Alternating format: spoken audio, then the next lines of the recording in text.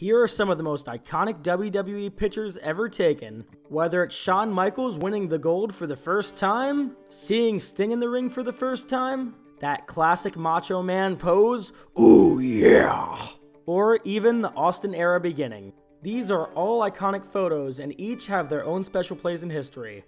But as for today, I'm going to be showing you the top 10 rare WWE pictures. Number 10, Andre the Giant's huge ass hands. Now I already know what you're thinking. You're already thinking I've seen this picture a hundred times before.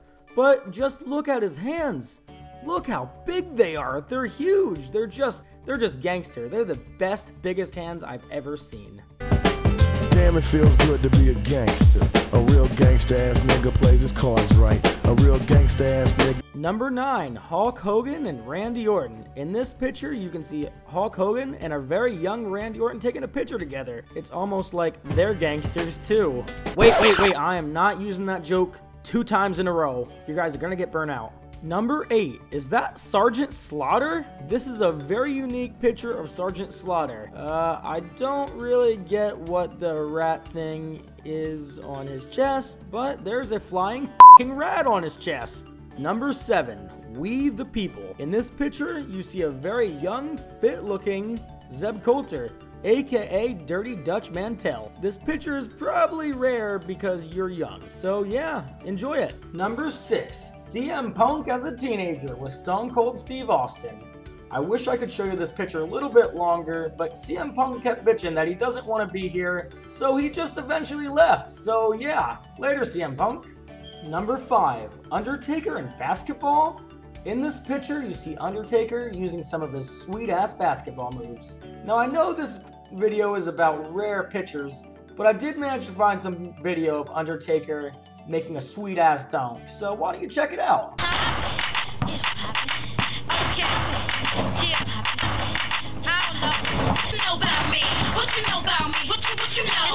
Number 4. Skydiving on my day off. This apparently is what Shane and X-Pac do on their day off. The only thing I'm wondering is why in the hell does it look like X-Pac has his ring gear on? Number 3. BSK for life. BSK stands for Bone Street Krew, and that is Undertaker's gang that he had back in the day. He actually got a tattoo of it, believe it or not.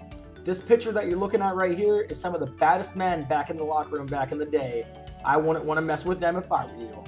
Number 2. Party time. This picture pretty much speaks for itself. This is a whole bunch of WWE superstars getting shit-faced and having a good time. Who knows, possibly even doing drugs. I mean, just look at Shawn Michaels over there. And number one, we are ending our list on a very somber note.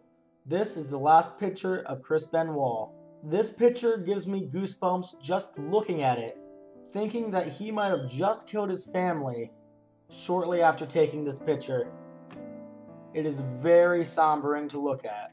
Alright everyone, if you were able to reach the end of this video, you are awesome. If you feel like helping me, you can always hit that like button. You can always share my videos, Twitter, Facebook, the whole thing. Help get my name out there. If you did reach the end of this video, thank you so much. I hope you consider subscribing. Tell me what you want to see. I will do any kind of video idea. I'm not opposed to anything. So until the next video guys, I will see you later.